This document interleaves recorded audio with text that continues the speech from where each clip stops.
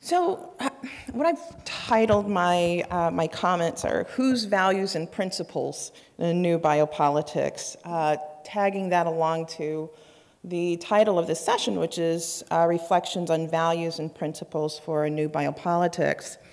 first, I want to say it's a real pleasure to be here. I've been very excited about uh, this conference. I canceled a lot of my summer travel, but this I kept on the agenda. I have a very busy fall, but this summer I've been really looking forward to this. We had such a dynamic meeting last year. And this is really a special time for us, the opportunity to come together in such an incredible environment uh, with people that most of us really want to see. So that's really terrific. Uh, and to begin, I want to thank uh, CGS and specifically Rich and Marcy, um, the staff, the multiple Emilys that are involved, uh, Doug, uh, and others on the team that have provided the opportunity for us to be here today. So, we know this session, Reflections on Values and Principles for a New Bio Biopolitics. Uh, and I've been given the duty, or shall we say the opportunity, uh, to start us off. And when first approached about the topic, I was really excited about it because I care a lot about values and principles, and perhaps even too much to some of my students. They're like, where's the law in the course? We've gotten all this about policy and values and principles. Um, but I think it is really important where we start off here today, and I think even more important whenever one begins the process of thinking about values and principles, we must ask whose values and principles we're actually talking about. Whose values are on the table or on the agenda? And my goal here is to lay the foundation in some ways for my co-panelists and then I guess for, for our table talks afterwards uh, and what will come in the coming um, days. And my comments are in a very brief three-part framework. And the first part of that framework happens to be called definitions and identity.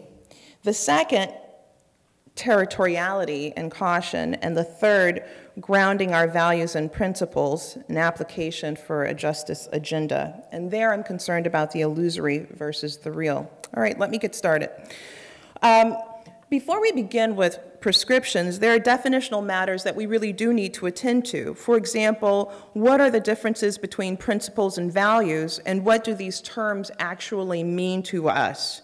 Webster's dictionary defines principles as truths which are accepted in general, a law of conduct or a rule of action or a law of nature. But which of these or any of these at all should fit our agenda or none? Do we even have a set of truths yet? Can we say that based on last year, meeting each other and getting together, that we actually have a set of truths? Or which of these map adequately on what we think the world should be thinking about.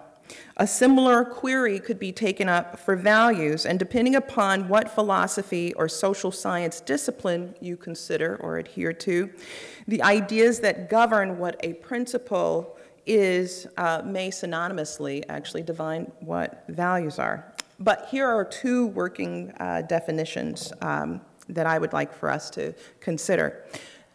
Principle, a rule of conduct and action. Uh, we can imagine these as actions that we should commit ourselves to based upon our values. Maybe sort of our version of a primum non nocere, you know, first do no harm. Values, we might consider the following definition foundational and enduring beliefs shared by members of a community about what is good, harmonious, and desirable. And coming up with values and principles is, in fact, a tricky enterprise, as I'll continue to describe, because it means navigating the spaces of primary and secondary, the actor and the object, and the difficulty of working within collective groups, which leads me to the second part of my framework. So, who's setting the definition in of itself sometimes is a bit problematic. All right, the second matter territoriality and caution. Before we announce or place on the table the values most essential for an enlightened and sustainable new biopolitic, we must consider whether the territory on which we stand is actually new or only new to us, sort of Columbus like. By this, I mean to suggest that in the West, from time to time, we come to international forums for policy and debate and discussion with the notion that we actually arrived first. And from that vantage point, articulating novel, original, inventive, or innovative ideas, or that is exactly what we think because we got there first and we're defining it and nobody else has thought of this, so we think.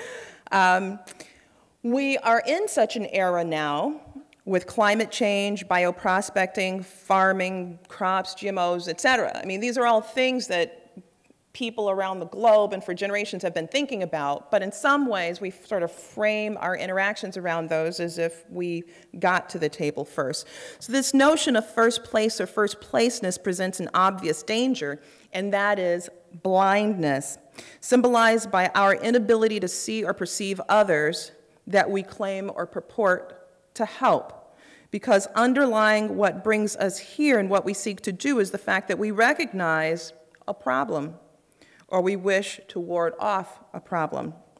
The West has a legacy of prescribing Western thought solutions to, one, situations where there may not be a problem, two, if there is a problem, the locals may in fact be addressing it, and then three, sometimes what also happens is that the conditions that have been caused have actually been caused by the West. The, the, problems, we actually come in and we've, we've created the problem and now we come in to solve the problem, but usually the solutions are those that actually inure benefit back to the West. And so, in fact, we want to be careful about how we approach our problem solving.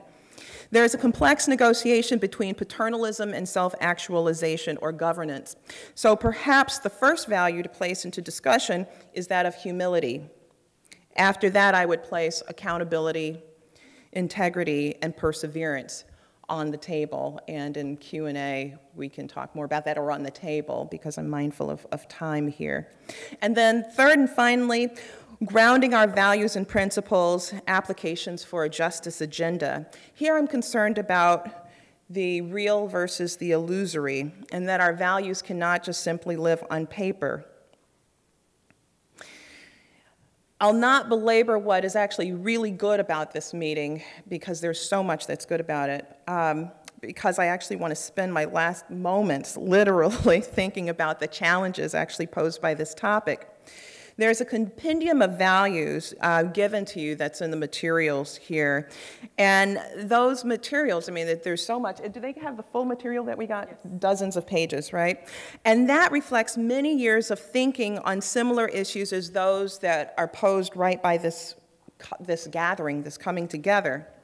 What you will notice is the diversity of voices and nations that espouse principles and values that we are very likely to repeat today. So what we come up with today will not be necessarily new values um, at all.